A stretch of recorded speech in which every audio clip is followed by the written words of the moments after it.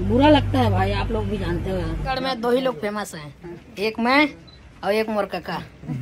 Hello दोस्तों welcome back to our channel तो कैसे हो सब? उम्मीद करता हूँ दोस्तों सब ठीक होंगे और अच्छे होंगे। तो स्वागत करता हूँ एक हमारे एक नई वीडियो में गाइस आप लोगों का बहुत बहुत स्वागत है।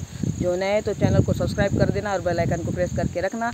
अगर और इस वीडियो को शेयर ज़्यादा से ज़्यादा करना गाइस बुरा लगता है भाई आप लोग भी जानते हो। दोस्तों, इस मीम और इस फ़ोटो को देखकर आपको तो पता लग गया होगा कि आज हम किसके बारे में बात करने वाले आज ये वीडियो ना बहुत बड़े कॉमेडियन और छत्तीसगढ़ के मशहूर यूट्यूबर के नाम से भी जाना जाते थे, देवराज पटेल जी।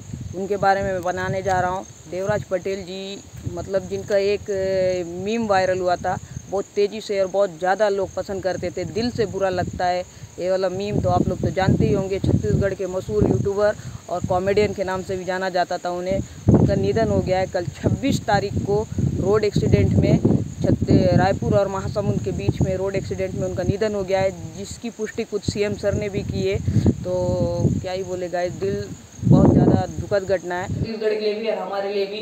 तो गाइस, वो बहुत अच्छे कलाकार थे, जिनको मैंने कभी फेस टू फेस मिला तो नहीं बट उनको यूट्यूब और ना इंस्टाग्राम में बहुत बार देखा है। बहुत अच्छी कॉमेडी और बहुत अच्छे वीडियोस बनाते थे।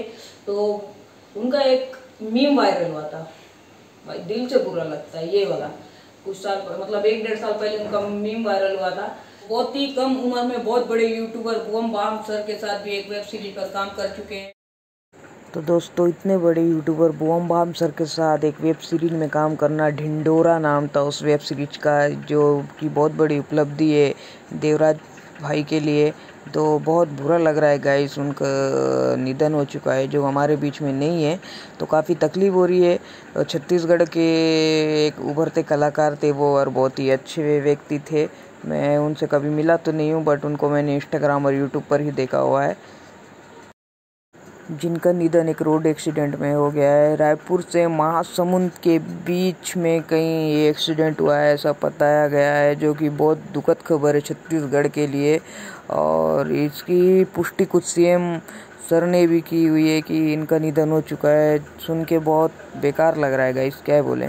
जो क्या ही बोल सकते हैं, बहुत दिल से बुरा लग रहा है। मैं ईश्वर से प्रार्थना करूँगा, उनकी मृत आत्मा को शांति प्रदान करे और उनके परिवार को दुख झेलने की शक्ति प्रदान करे।